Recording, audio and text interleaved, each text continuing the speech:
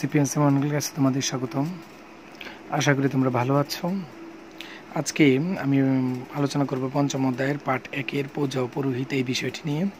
প্রথমে আলোচনায় আসে এলো, পূজা শব্দের অর্থ কী? প্রশংসা বা শ্রদ্ধা জানানো, ফুল দেওয়ার মাধ্যমে, অর্চনা উপাসনার মাধ্যমে। এটি হচ্ছে পূজা শব্দের অর্থ। এরপরে আসা যাক যে পূজা যে ব্যাপারটা, এটা প্রতি, ঈশ্বরের প্রতীক বা তার কোনো রূপকে মানে রূপ বলতে এনে দেবদেবীকে সন্তুষ্ট করার জন্য ভক্তি সহকারে ফুল, দুর্বা, তুলসী পাতা বেলপাতা, চন্দন, আম, আতক চাল, ধূপ দ্বীপ প্রভৃতি উপকরণ দিয়ে বিশেষ পদ্ধতিতে পূজা করা হয়। এটাই হচ্ছিল হিন্দু ধর্মের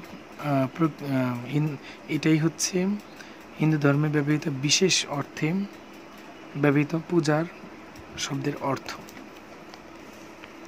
এরপর আসা যাক পূজার উদ্দেশ্য কী। সর্বশক্তিমান ঈশ্বরের কাছে বা দেবদেবীদের কাছে মাথা নত করা এবং তাদের সান্নিধ্য লাভের প্রয়াস হচ্ছিল এই পূজা করার উদ্দেশ্য।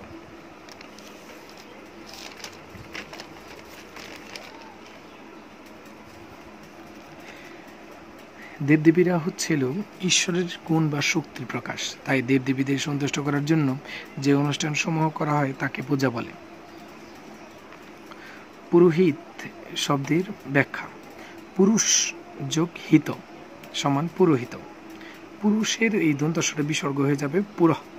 এর অর্থ হল সম্মুখে, আর হিত শব্দের তো কল্যাণ বা অবস্থান। সম্মুখে কল্যাণ বা সম্মুখে অবস্থান। এই হচ্ছে পুরোহিত শব্দের অর্থ।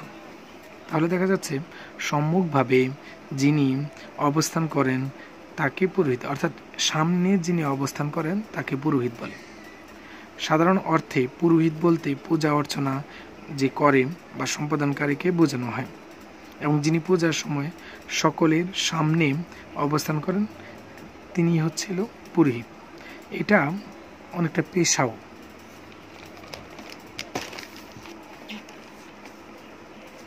এখন আসা যাক পুরোহিত অর্থ তো জানলাম বা পূজা শব্দের অর্থ জানলাম, কিন্তু যজমান যজমানটা হচ্ছিল যার নামে সংকল্প করে তিনি পূজা অর্থাৎ যে ব্যক্তি এই পূজাটা করাচ্ছেন মানে পূজার আয়োজক, তিনি হচ্ছেন যজমান যজমান নিজেও পূজা করতে পারেন, কিন্তু সাধারণত পুরোহিতকে ডাক দিয়ে তিনি নিজে করেন যজমান পুরোহিতকে পূজা করে দেওয়ার জন্য আহ্বান করেন। সাধারণত ব্রাহ্মণ বর্ণের লোকেরাই পৌরোহিত্য করে থাকে। কারণ যেহেতু বর্তমানে হিন্দুদের এটা এসেছে, বংশানুক্রমিক, যদিও বংশানুক্রমিক বংশানুক্রম হয়ে গেছে। পুরোহিত ব্রাহ্মণ কিন্তু এক কথা নয়। ব্রাহ্মণ বলতে যাদের ব্রহ্মবিদ্যা সম্পর্কে সম্যক জ্ঞান ও ধারণা আছে, বা যিনি ব্রহ্মবিদ, তিনি হচ্ছে ব্রাহ্মণ। পুরোহিত হতে হলে সংস্কৃত ভাষা জ্ঞান এবং শাস্ত্রজ্ঞান থাকতে হবে। তাহলে সে পুরোহিত হতে হবে।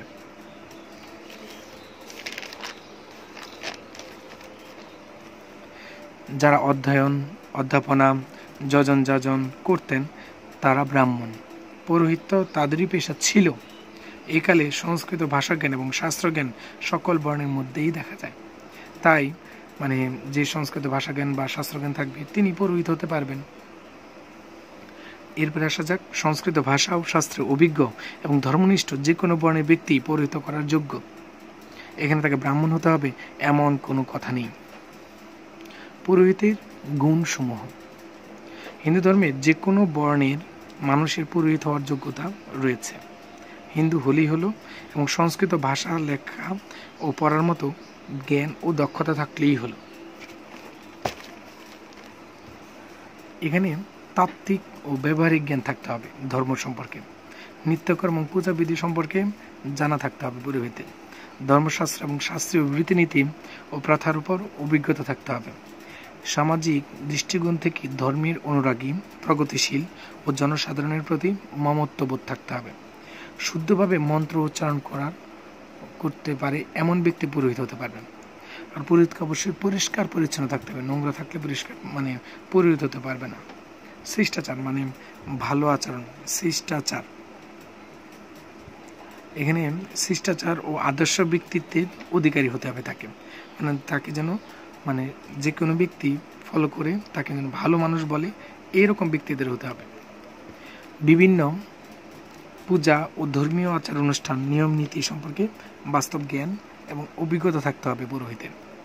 আচরণগত দিক থেকে ধৈর্যশীল, সৎ, ন্যায়পরায়ণ এবং কথা ও কাজে সমন্বয় থাকতে হবে। অর্থাৎ তিনি যে কথা দেবেন, সে কথাটা তিনি রাখবেন, নড়চড় করবেন না।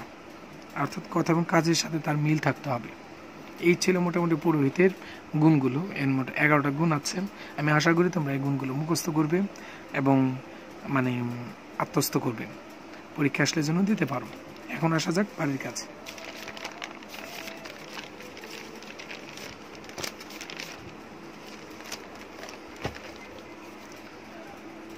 প্রশ্ন, বাড়ির কাজ।